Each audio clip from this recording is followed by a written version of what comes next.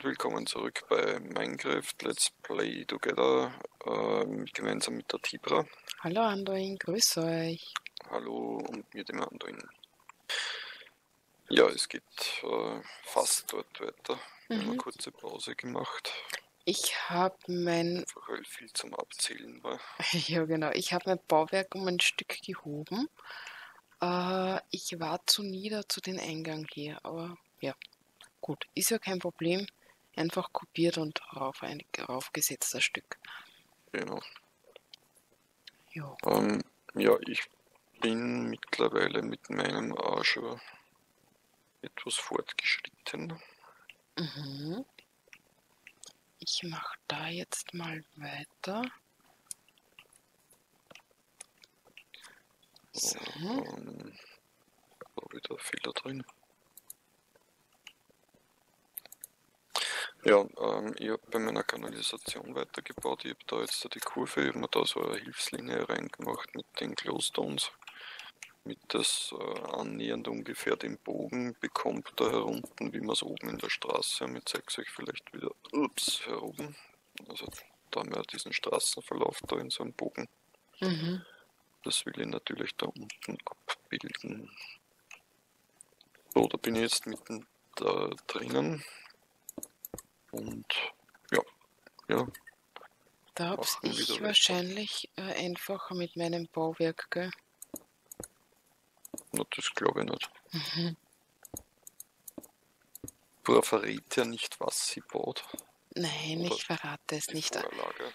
oder was die Vorlage ist, aber ich glaube, man kann es dann doch bald erkennen, wenn ich, wenn ich nicht wirklich verfehle, was ich mache. Äh, ich ich habe einen Vorschlag.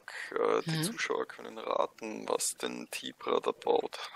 Ja, das ist eine Möglichkeit.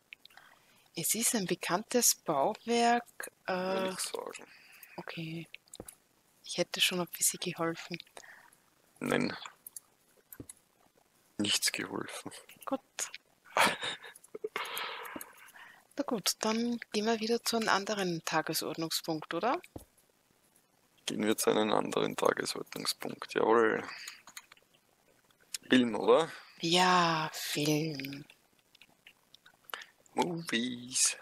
Ja, wir haben jetzt einen Film, den wir doch kürzlich gesehen haben. Ja, stimmt. Den haben wir erst kürzlich gesehen. Ganz anderes Genre. Äh, Titel, Die Winzlinge. die Winzlinge, genau. Äh, was Äh, gibt's da zu sagen? Ja, vielleicht, äh, um was geht's bei dem Film? Es ist äh, ein Animationsfilm, aber nicht komplett Animation, sondern nur die Akteure, Mhm. also sprich die Winzlinge. Also die schauspielerische Bewertung wird da etwas schwierig. Ja, das stimmt. Ähm, und der Rest vom Film ist real. Also es kommen sogar Genau. Menschen vor. Ja, am Anfang. sind keine Hauptakteure in dem Film, aber es gibt sie. Sind real verfilmte, also reale Personen. Und die ganze Landschaftsaufnahme und so ist ebenfalls real. Mhm. Ist eine europäische Produktion. Ja, französisch, glaube ich, Okay. soweit wir das feststellen konnten. Ähm, ja, die Winzlinge, das sind kleine Insekten, wie wir sie alle kennen, vom Marienkäfer bis zur Ameise, von der Fliege bis zur, was kommt noch vor, Spinne, Ja, Schmetterlingen. äh, also ein Hecht kommt vor, sogar ein Fisch, ne? Ja, ein Fisch kommt vor, stimmt.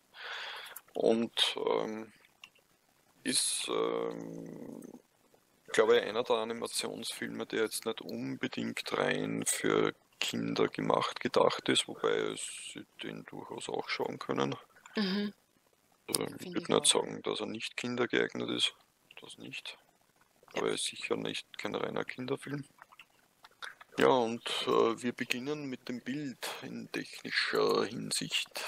Äh, Bild in technischer Hinsicht ist sehr gut für mich, weil trotz der animierten Insekten, die sich so perfekt einpassen in die Naturaufnahmen, ja, da kann man eigentlich nur sagen, super gemacht. Also man kennt dann fast keinen Unterschied mehr. Es, die, die leben, die animierten Insekten leben in der Natur, in der echten Natur. Ja. Ja, äh, Bewertung. Bewertung auf jeden Fall eine Eins, um dort weiterzumachen, wo ich aufgehört habe. Okay, von Tibra eine 1. Technische Bewertung meinerseits ähm, vom Bild sehr gut. Es ist äh, überhaupt schwer, in aktuellen Verfilmungen nur irgendwo einen Fehler zu finden Mhm. im Bild. Man könnte vielleicht äh, an den Figuren ein bisschen, an den computeranimierten was äh, besprechen, aber das kommt dann bei Effekte, also das Bild generell, die Landschaftsaufnahmen und so weiter, toll, kristallklar, kein Mhm. Bildrauschen, also mir wäre nichts aufgefallen. Ja, Ja, von mir stimmt. auch eine 1. Wirkt schon fast äh, echt. 4K HD, also nicht nur High Definition, sondern das neue Format. Aber das kommt mir sowieso mittlerweile bei einigen Blu-rays vor, dass die durch die digitalen Filmaufnahmen, also ja, extrem gut sind. Mhm. Weil Stimmt. zum Beispiel auch, wird das heißen, wie Brüder im Wind. Ja, ma, Also, der war cool. Also wirklich schön, schön gemacht. Französische Verfilmung, glaube ich, ist da dabei und Mhm. Österreich, Deutsch und ja, auch extrem gute Qualität. Zum nächsten. Ähm, ja, Bild äh, künstlerisch. Künstlerisch äh, Farbgebung. ist halt bei Animationsfilmen relativ schwer, aber äh, ist sehr schön gemacht und zwar, das muss ich wieder zählen, äh, es ist sehr einfach zum Teil dargestellt, logisch einfach die Handlungen. Ja, man könnte hier, glaube ich, auch nichts besser machen. Mhm. Sehe ich genauso bei dir eine Eins anscheinend. Ja. Ähm, bei mir das. Ich bin mir nicht ganz sicher, wo es hingibt, zu den Effekten oder zum Videoschnitt. Ich würde mal sagen, ich gebe den Videoschnitt eine 2. Und zwar deshalb, weil äh, die europäischen Animationsfirmen, für mein Gefühl, noch nicht so weit sind wie die amerikanischen. Mhm.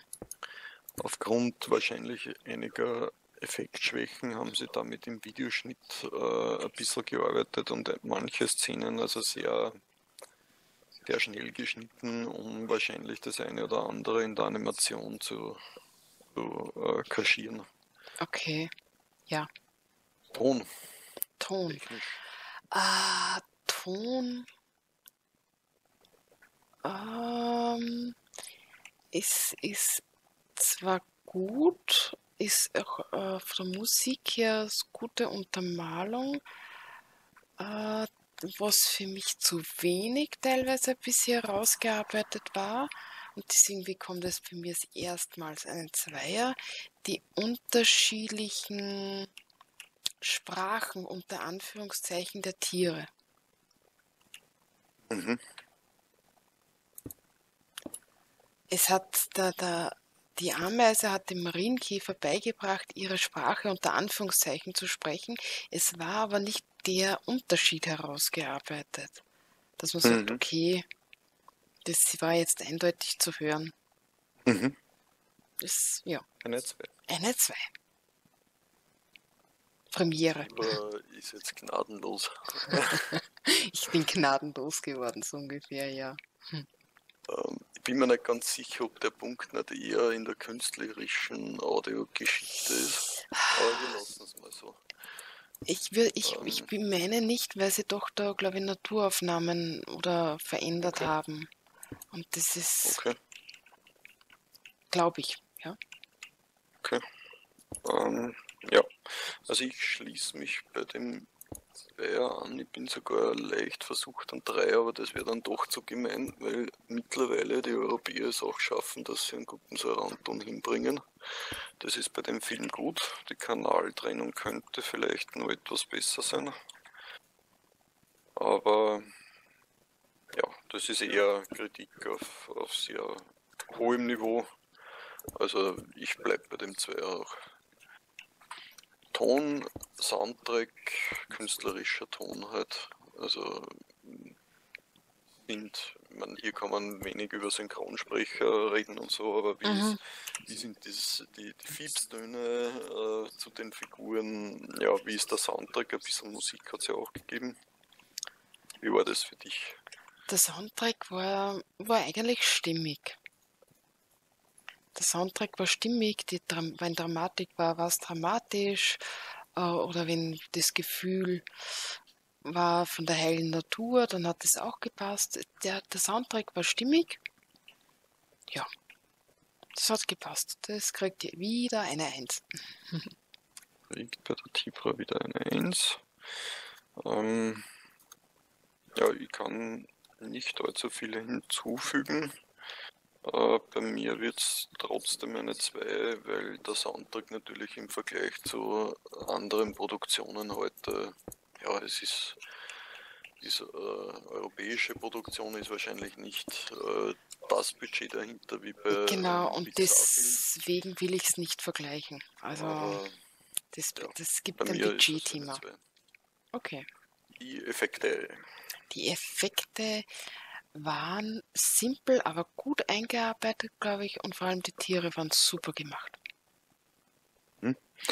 Ganz Ja, einfach. also wie, ich zähle, ja, das heißt eine 1 bei dir. Ja, natürlich. Jawohl. Äh, bei mir ist es auch eine 1. Äh, die Effekte selbst, ja, man kann sie jetzt nicht unbedingt vergleichen mit einem Star Wars oder sonstiges, aber dafür ist äh, das, was sie erreichen wollten, also der Film heißt ja schon Die Winzlinge. Äh, ich nehme bei den Effekten jetzt die Animation dazu Mhm. von den Figuren und da kommt das Thema meiner Meinung nach sehr gut rüber, dass es um, den, um die winzli, winzigen Insekten geht. Mhm. Also Stimmt. das ist äh, für mich ganz hervorragend herausgearbeitet. Ähm, ja, deshalb eine 1. Die Ausstattung, sprich, Äh, na, es ist da jetzt relativ schwer, weil man ja man kann viel hier real nicht haben. wirklich von Ausstattung reden, ist aber insofern gut. äh, Sie haben mit wenig, aus wenig viel gemacht, wie zum Beispiel aus der Zuckerdose. Und deswegen gefällt es mir sehr gut.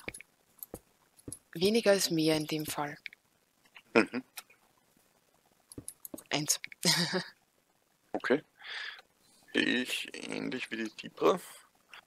Ähm, ich hätte bei der Ausstattung auch reingenommen, nachdem es spielt zwar, also der, der Hintergrund ist halt äh, ja ein realer Wald, Mhm. aber das, was sie reingebaut haben für die Winzlinge, also zum Beispiel der, der Hauptakteur ist hier ein Marienkäfer Mhm. und er reist da halt äh, mit Ameisen, hat dann auch noch einmal einen Solo-Auftritt, wo er versucht, äh, halt selbst etwas äh, zu schaffen. Mhm. Kommt da in so eine Art Kanalisation, oder ich glaube so unter der Straße, so, ein- so ja, ein Regenabfluss oder sowas das sein soll.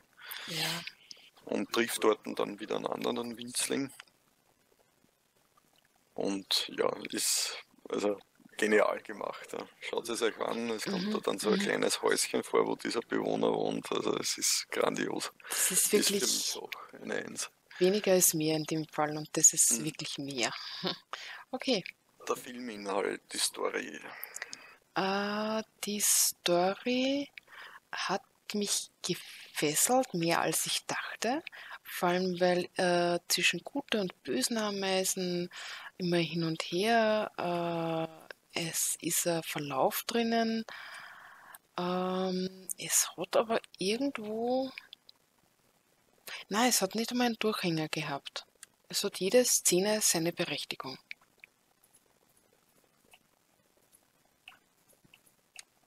Note. Du fragst. Du fragst Sachen. Eine Eins, oder? Ja, bitte. Eine Eins gibt die Tibra für die Story.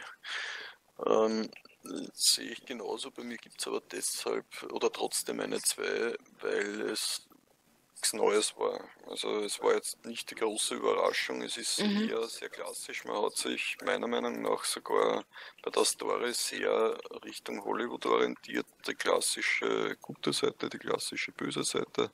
Ja, stimmt. Ähm, es soll jetzt nicht wie klingen, wie wenn es schlecht wäre, weil ich stehe prinzipiell auf, auf die Hollywood-Filme, also ich mich da auch dazu. Bin, bin nicht der, der immer die großartigen Sozialdramen braucht. Mhm. Aber es war halt auch wenig Überraschung dabei. Stimmt. Ja. Stimmt, ja, aus meiner recht. Sicht. Ja, ähm, ja deshalb der, der Zweier. Ähm, Schauspieler, gut, das fällt in dem Fall weg und die Synchronstimmen haben wir ja schon gehabt. Ja, da sind wir eigentlich dann fertig. Ähm, ich gebe da mal eine Null ein, das kann nur sein. Hm, ja, Null dürfte es eigentlich nicht beeinflussen. Ne? Puh, gute Frage. Nein, dürfte Ja, nicht ja. beeinflussen. Das zählt ja nicht. Ja. Also bei Tibra war es wieder, äh, ist es aber keine glatte. Nein, es ist keine glatte Eins. Was, Diesmal. dann, na, dann muss ich wirklich bei der Formel da jetzt was ändern. Und zwar, äh, Unser Leben ist mit Formeln bestimmt. Es gibt für alles eine Formel. ja, man kann es mathematisch lösen. Bei der Tibra ist es eine 1,1. Mhm.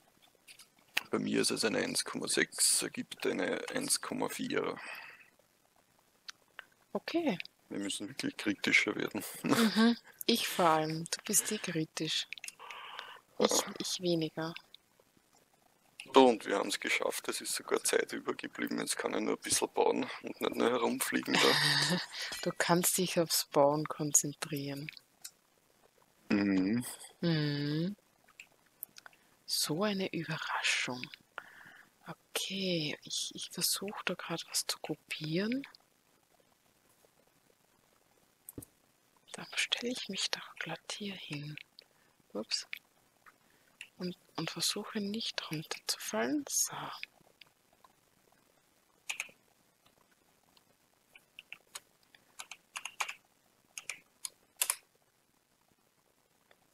Okay.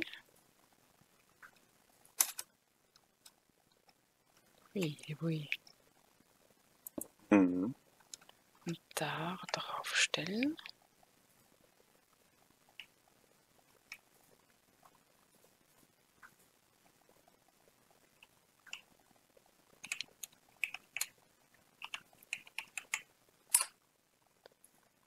Ja, es hat funktioniert. Schön. Dann werde ich auch nicht ausgelacht. Ja, langsam wird's schon. Ja, super. Jetzt muss ich glatt zu dir rüberfliegen und mir deine Kanalisation ansehen. Kanalisation. Ja.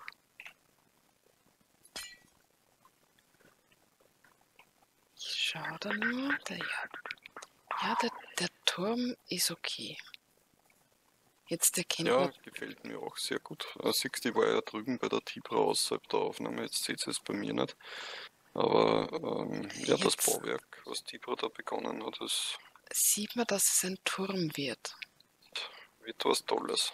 Na, Ich hoffe, dass was Tolles wird. Ist zwar noch eine Menge Arbeit, aber das soll mich nicht stören.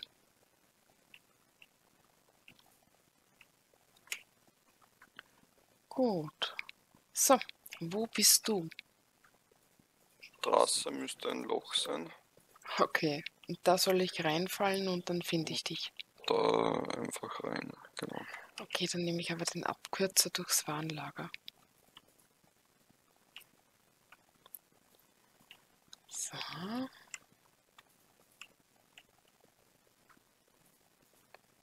Genau, hier nochmal kurz abstellen. Ähm, ich soll ja da irgendwie rüberkommen. Ja, jetzt schaut es besser aus, wo es komisch ist.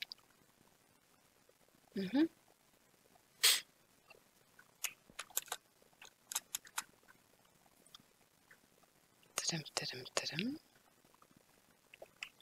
Ich muss mir dann noch seitlich was vor dem Turm überlegen.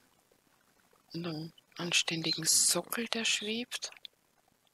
Ah ja, und deine Laternen brauche ich. Da hast du ja, glaube ich, eine Schaltung gemacht, gell? Bei den Laternen. Ja. Kann man die mitkopieren? Ja, das ist nicht kompliziert, die kopiert sie mit. Okay. Großartiges. Schock, Stock, Stock. Oh, ich setze mich mal ab. Das heißt, du hast am Ende der Straße ein Loch gemacht. Äh, in der Biegung drinnen, ja. Ah, in der Biegung. Wo zu dem Baum dahin geht. Das andere Ende. Gut.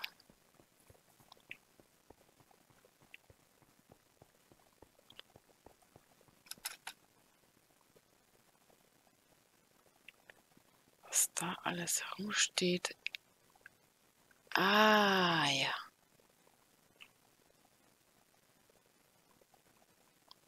Ups. Oh, das wird aber schön. Schöner als meins. Okay. Ja. Aber wirklich nicht. Viel äh, facettenreicher. Aber wirklich nicht. Hm, kann ich mir glatt noch was abschauen.